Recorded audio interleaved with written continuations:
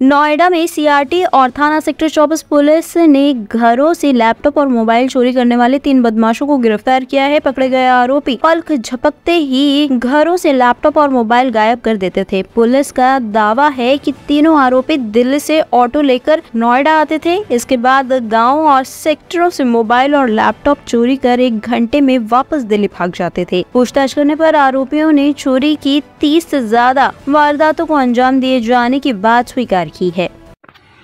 CRT team और थाना sector 24 की पुलिस टीम की एक संयुक्त कार्रवाई तीन फ्लैट चोर गिरफ़्तार हुए इन फ्लैट चोर का नाम आफ्ताब अलकाम और शम खान है। इन लोगों के पास से नौ लैपटॉप और ग्यारह मोबाइल फ़ोन बरामद हुए हैं। ये पेशेवर फ्लैट चोर हैं और इनके ऊपर 2018 से मुकदमे मिले हैं। यह लोग पहले दिन में घरों की रेकी करते थे और ऐसे घरों में घुस जाते थे जिनका दरवाज़ा खुला होता था। अगर घर का मालिक सोता हुआ मिलता था तो ये लोग सामान की चोरी कर लेते थे और जगह हुआ मिलता था तो ये क्या कि टाल देते थे कि हम तो किराए का मकान देखने आए हैं।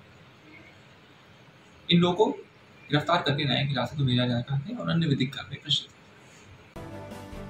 टॉप स्टोरी ब्यूरो के लिए नोएडा से अमर सैनी की रिपोर्ट।